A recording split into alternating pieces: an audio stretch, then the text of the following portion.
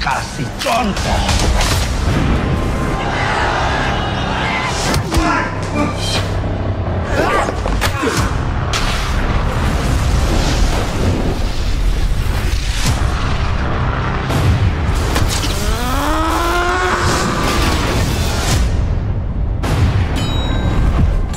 Sekarang waktunya anak-anak yatim bangkit.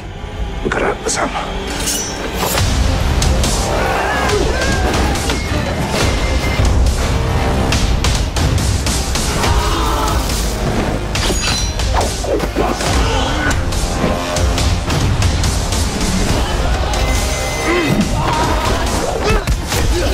Kamu siap? Rakyat.